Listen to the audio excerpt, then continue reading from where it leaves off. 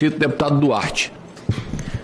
Senhor presidente, boa tarde a todos e todas. É, primeiramente, eu gostaria de dizer ao senhor Adriano Machado é, toda a minha solidariedade por sua presença aqui nessa CPI, nessas circunstâncias. Isso só demonstra como a extrema-direita ela se comporta. Ao invés de lhe convidar para trazer informações, contribuições, ao invés de aproveitar esse momento, essa oportunidade, para que nós possamos utilizar a força que tem essa, essa CPMI, a força constitucional, a força processual, para que nós possamos identificar e punir aqueles que financiaram, aqueles que instigaram, aqueles que de algum modo auxiliaram a prática de atos antidemocráticos, não chamam aqui um jornalista, um profissional, para tentar fazê-lo como cúmplice de um ato criminoso. Minha solidariedade a você, minha solidariedade a toda a imprensa. E eu peço aqui à imprensa dessa casa que abram as câmeras aqui, que possa demonstrar quantas pessoas tem aqui nesse, nessa sala. A ausência. Não tem ninguém aqui praticamente. O vazio dessa sala demonstra o quão absurdo é a sua convocação. E a extrema-direita tentou a todo custo fazer que o senhor estivesse aqui. Por isso, começo a minha fala me solidarizando.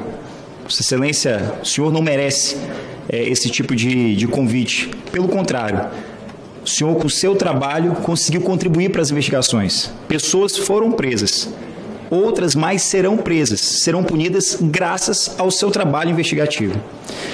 Durante o seu depoimento, senhor foi questionado sobre uma foto que demonstrava a força nacional na, na, na, nas mediações do prédio do Ministério da Justiça. O senhor se lembra desse fato? Sim, sim. Pode, pode nos trazer mais informações sobre o que estava acontecendo ali, se realmente a Força Nacional estava na, nas mediações do Ministério da Justiça? Quando eu, eu saí do anexo, subi ali a, aquela lateral do Ministério da Justiça, entre o Ministério da Justiça e o Ministério do, do Ciência e Tecnologia, né? Eu vi que eu passei, passei pelo, por, pela Força Nacional que estava ali ao lado. Ao lado, estava ali no, ao lado, mais à frente. Na frente ali do, do prédio do Ministério da Justiça. Era, meio na lateral ali era.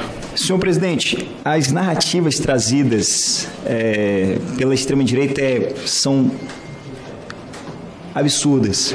Porque eles tentam a todo custo transformar o algoz em vítima. Esse tipo de questionamento e essa resposta, a sua foto, essas provas materiais demonstram quem de fato é o culpado, quem de fato é o responsável. Não é o ministro da Justiça, como tentam a todo custo fazer com que as pessoas pensem algo tão absurdo como esse. Na verdade, o depoimento do senhor Fernando de Souza Oliveira, depoimento no dia 18 de janeiro de 2023 à Polícia Federal, traz a razão de ser da Força Nacional está na porta do Ministério da Justiça. Está aqui, ó, depoimento aqui em minhas mãos. Problema é que muita gente sabe requerer documento aqui, mas poucos exercem o hábito da leitura, de ler os documentos que chegam até essa CPMI.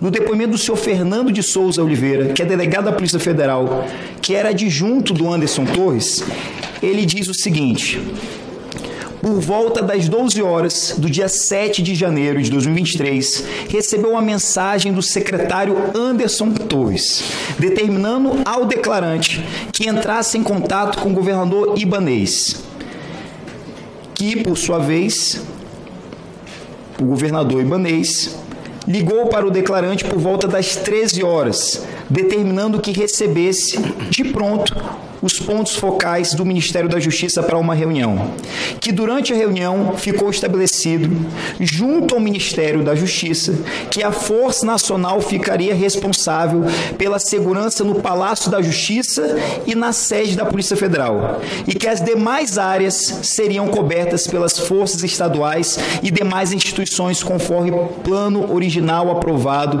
no Plano de Ações Integradas. Ora, senhor presidente, é bem aqui, ó, grifado Vou postar no meu Twitter, nas minhas redes sociais, esse depoimento aqui para que todos possam ver. A partir do momento que existe um plano arquitetado pelo ex-ministro da Justiça do governo Bolsonaro, existe um plano orquestrado pelo então secretário de Segurança do DF. Esse plano, apresentado ao Ministério da Justiça, de acordo com determinação do governador Ibanês, deveria ser cumprido.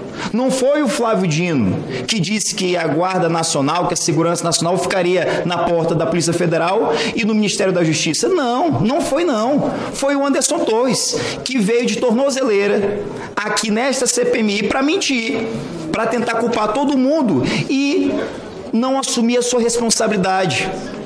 Senhor presidente, os fatos estão claros, as evidências estão claras, estão cristalinas. Esse questionamento feito ao senhor pela extrema-direita só demonstra quem é o real culpado, quem foi negligente, quem facilitou, quem permitiu que o senhor mesmo entrasse com seu carro e estacionasse nas mediações do Ministério da Justiça. O ex-ministro da Justiça do governo Bolsonaro o então secretário de Segurança do DF, Anderson Torres, é o culpado. Agora, tentam a todo custo levantar teses inócuas, teses que não prosperam, querendo colocar a responsabilidade no ministro da Justiça. Meus amigos, para que a Guarda Nacional, para que a Força Nacional pudesse entrar em ação, tem que ter a anuência dos governos estaduais. Não é à toa que só foi possível agir após uma intervenção federal. Antes disso, não era possível. Basta ler o que está previsto em lei, basta buscar os entendimentos do Supremo Tribunal Federal. Por fim, nesses poucos minutos que me restam, espero ter trazido com fatos, com elementos concretos a verdade, a verdade real. Mas aproveito nesses poucos minutos para lhe fazer um último questionamento, senhor Adriano. Durante aquela oportunidade que o senhor lá estava, Vale lembrar que o senhor não conseguiu entrar no acampamento porque não deixaram o senhor entrar.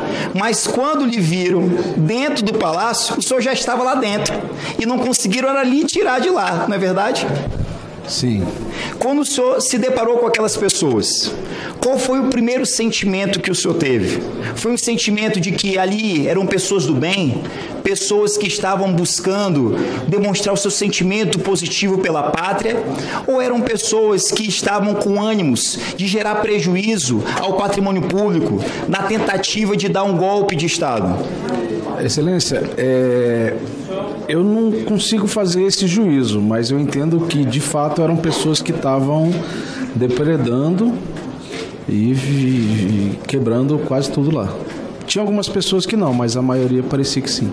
A maioria estavam tentando quebrar o, o... Boa parte sim, boa parte sim. E as outras estavam acompanhando? Sim.